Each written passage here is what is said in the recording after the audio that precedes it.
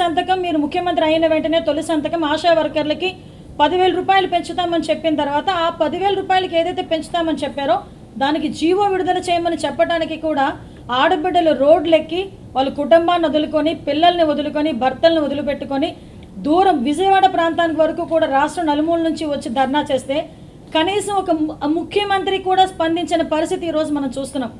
ముఖ్యమంత్రి కాదు కదా ఉన్న మంత్రులు. ఒకనొక సందర్భాన్ని గుర్తు చేస్తున్నాను ఈ రోజుల్లో. అంగన్వాడీకి సంబంధించి జీతాలు పెంచమని చెప్పి అంగన్వాడీ కార్యకర్తలు రెండు పద్నాలుగు పంతొమ్మిది మధ్యకాలంలో ఇలాగే ధర్నా చేసినప్పుడు అప్పుడు వైసీపీ ఎమ్మెల్యే రోజా గారు ఒక మాట అన్నారు. మంత్రులు గాడిదలు కాస్తున్నారా అని అడిగారు. అంతమంది మహిళలు రోడ్డు మీదకి వచ్చి మా ధర్నాలు చేస్తుంటే మహిళా మంత్రులు గాడిదలు కాస్తున్నారా అని అడిగారు.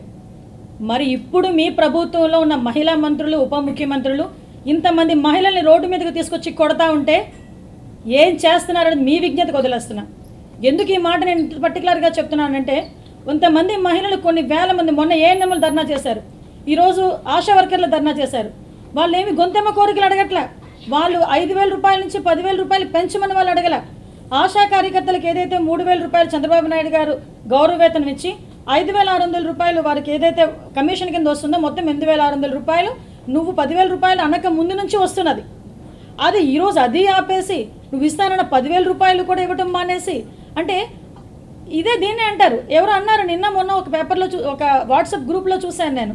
కొంగు పట్టుకొని అడిగాడంట నాకు ఓటేయండి అమ్మా అక్కమ్మ చెల్లెమ్మ అన్నయ్యలారా తమ్ముళ్ళారా నాకు ఓటేయండి మీకు బంగారు భవిష్యత్తు ఇస్తానని చెప్పిన ఈ ముఖ్యమంత్రి ఈ రోజు కనీసం ఆశా వర్కర్ల గురించి మాట్లాడకపోవడం చూస్తుంటే బాధ అనిపిస్తుంది ఆఖరికి పోయిన వాళ్ళ భర్తలు ఏదైనా సంపాదించి ఈరోజు లోపల పెడ వాళ్ళ ఇంటికి తీసుకొస్తారా అంటే కూలి పనులు చేసుకున్న దానికి ఇసుక లేదు. ఆఖరికి భవన నిర్మాణ రంగం కుంటుపడింది.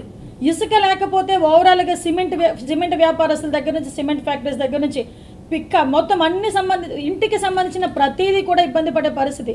ఈరోజు సుమారుగా ఇరవై లక్షల మందికి పైగా కూలి పనులు చేసుకునే వాళ్ళు రోజువారీ తినడానికి కూడా ఇబ్బంది పడే పరిస్థితి మూడు నెలల కాలంలో వస్తుందంటే మొన్న ఎవడో వ్యంగ్యంగా అన్నాడు ఇప్పుడు పాడండి అయ్యా రావాలి జగన్ కావాలి జగన్ అని. ఓ రావాలి కావాలి అని చెప్పేసి మన కోరుండి తెచ్చుకున్న దానికి కోరి పిల్లనిస్తే కులం తక్కువ అన్నాడట ఎవడో కానీ అలాగే కోరి రండి ఏదో చేసేస్తాడు ఏదో రెండు సంవత్సరాలు కష్టపడ్డాడని చెప్పి మనం పట్టం కట్టిన దానికి ఈరోజు మన నోటి దగ్గర కూడుని కూడా బయటకు లాగే పరిస్థితి. పోనీ ఆశా వర్కర్లకి జీతాల గురించి పక్కన పెడితే వాళ్ళకి గ్రేడింగ్ అంట. నిజంగా నవ్వొస్తుందండి. ఆశా వర్కర్ గ్రేడింగ్ ఏంటండి? ఒక వెయ్యి కుటుంబాలకి ఆశా వర్కర్ లేకపోతే పోలియో చుక్కలు వేసేవాడు ఎవడు ఉండడు గ్రామాల్లో?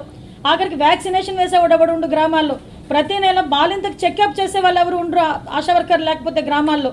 అటువంటి ఆశా వర్కర్లు పనిచేసే విధానానికి గ్రేడింగ్లు అంట మరి మూడు నెలల కాలంలో మీరు చేసిన పని విధానానికి ప్రజలు గ్రేడింగ్ ఇస్తే జగన్మోహన్ రెడ్డి గారు సి గ్రేడింగ్ వస్తే ఉద్యోగాలు తీస్తామన్నారు.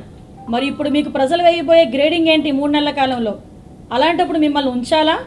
తీసేయాలా? ఒక్కసారి మీరు ఆలోచించుకోండి. అయితే తమకైతే ఒక న్యాయం పర్వాలకైతే ఒక న్యాయం కాదు. ఈ మూడు నెలల కాలంలో తినడానికి కూడా తిండికి నోచుకొని ఎన్నో పేద కుటుంబాలు ఉసురు ఈరోజు మీకు తగులుతుందని మీ తాలూకా మంత్రులకి కానీ మీ ఎమ్మెల్యేలకు కానీ తగులుతుందని నేను ఈ విషయంగా మీకు గుర్తు చేస్తున్నా. వార్తావాణి న్యూస్ ఛానల్ ఎప్పటికప్పుడు రాజకీయ సినీ విశేషాలు స్పోర్ట్స్ మరియు సాంకేతిక పరమైన మరెన్నో విషయాలను మన ముందుకు తెస్తుంది. మరింత సమాచారం కొరకు వార్తావాణి న్యూస్ ఛానల్ని సబ్స్క్రైబ్ చేయండి.